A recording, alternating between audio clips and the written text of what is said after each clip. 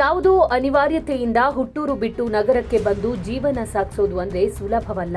ಬೆಲೆ ಏರಿಕೆಗಳ ನಡುವೆ ಬೆಂಗಳೂರಿನಂತಹ ಮಹಾನಗರದಲ್ಲಿ ಒಂದು ಕುಟುಂಬ ಸಾಕೋದು ಅಂದ್ರೆ ಅದರಲ್ಲೂ ಒಂದು ಬಡ ಕುಟುಂಬಕ್ಕೆ ಅಷ್ಟು ಸುಲಭದ ಮಾತಲ್ಲ.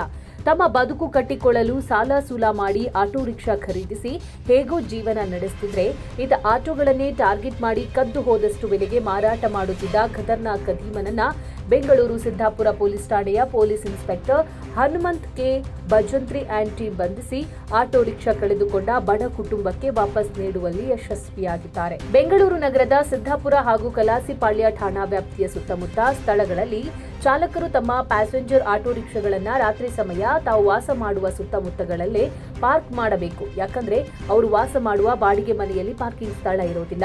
ಆಟೋ ರಿಕ್ಷಾ ಪಾರ್ಕ್ ಮಾಡುವ ಜಾಗ ಒಂದು ಗಲ್ಲಿಯಾದ್ರೆ ವಾಸ ಮಾಡುವ ಮನೆ ಮತ್ತೊಂದು ಗಲ್ಲಿಯಲ್ಲಿರುತ್ತೆ. ಇದರಿಂದ ಕಳ್ಳ ಕಾಕರಿಗೆ ಆಟೋ ರಿಕ್ಷಾ ಕದಿಯಲು ಸುಲಭ ಮಾರ್ಗ ಆಗಿದೆ. ಹಾಗಾಗಿಯೇ ಇಲ್ಲೊಬ್ಬ ಖದೀಮ ಆಟೋ ರಿಕ್ಷಾ ಕಳ್ಳತನ ಮಾಡಿ ಮಾರಾಟ ಮಾಡಲು ಪ್ರಯತ್ನಿಸ್ತಾ ಇದ್ದ. ಇದೀಗ ಸಿದ್ದಾಪುರ ಪೊಲೀಸರು ಆರೋಪಿಯನ್ನ ಬಂಧಿಸಿ ಆತನ ಬಳಿ ಇದ್ದ ಸುಮಾರು ನಾಲ್ಕರಿಂದ ಐದು ಲಕ್ಷ ಬೆಲೆ ಬಾಳುವ ನಾಲ್ಕು ಆಟೋ ರಿಕ್ಷಾ ವಾಹನಗಳನ್ನ ವಶಪಡಿಸಿಕೊಂಡಿದ್ದಾರೆ. ಬೆಂಗಳೂರು ಗ್ರಾಮಾಂತರ ಜಿಲ್ಲೆ ಹೊಸಕೋಟೆಯ ಇಪ್ಪತ್ತೆಂಟು ವರ್ಷದ ಸುಲ್ತಾನ್ ಪಾಷಾ ಬಿನ್ ಅಬ್ದುಲ್ ಗಫರ್ ಬಂಧಿತ ಆರೋಪಿ. ಆರೋಪಿಯ ಬಂಧನದಿಂದ ಸಿದ್ದಾಪುರ ಪೊಲೀಸ್ ಠಾಣೆಯ ಮೂರು ಪ್ರಕರಣಗಳು ಹಾಗೂ ಕಲಾಸಿಪಾಳ್ಯ ಠಾಣೆಯ ಒಂದು ಪ್ರಕರಣ ಬೆಳಕಿಗೆ ಬಂದಿದೆ ಎಂದು ಪೊಲೀಸ್ ಅಧಿಕಾರಿಗಳು ತಿಳಿಸಿದ್ದಾರೆ.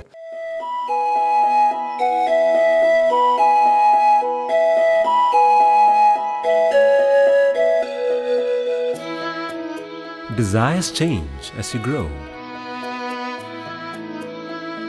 Breathtaking selections to match your desire. Sultan, diamonds and gold. ಈ ಕಾರ್ಯಾಚರಣೆಯನ್ನು ಬೆಂಗಳೂರು ದಕ್ಷಿಣ ವಿಭಾಗದ ಉಪ police commissioner V. Krishnakanth, Jayanagar ಉಪವಿಭಾಗದ ಎಸಿಪಿ ಕೆವಿ ಶ್ರೀನಿವಾಸ್ ಅವರ ಮಾರ್ಗದರ್ಶನದಲ್ಲಿ ಸಿದ್ದಾಪುರ ಪೊಲೀಸ್ ಠಾಣೆಯ police inspector Hanumanth K. Bhajantri ಅವರ ನೇತೃತ್ವದಲ್ಲಿ ಸಬ್ ಇನ್ಸ್ಪೆಕ್ಟರ್ಗಳಾದ ಮೋಹನ್ ಮುರಳಿ, ನವೀನ್ ಕುಮಾರ್ ಹಾಗೂ ಸಿಬ್ಬಂದಿಗಳಾದ ಶಿವಕುಮಾರ್, ನಾಗರಾಜ್ ಪರಮೇಶ್ವರ್, ಮಬ್ರುಕರ್, ಕಿರಣ್ ವೆಂಕಟೇಶ್, ಮೂರ್ತಿ ಭೀಮಾಶಂಕರ್ ಮತ್ತು ತಂಡ ನಡೆಸಿದ ಯಶಸ್ವಿ ಕಾರ್ಯಾಚರಣೆಯಿಂದಾಗಿ ಆಟೋ ರಿಕ್ಷಾ ಕಳೆದುಕೊಂಡ ಬಡ ಕುಟುಂಬ ಜೀವನಕ್ಕೆ ದಾರಿ ತೋರಿದ್ದಾರೆ. Thank you.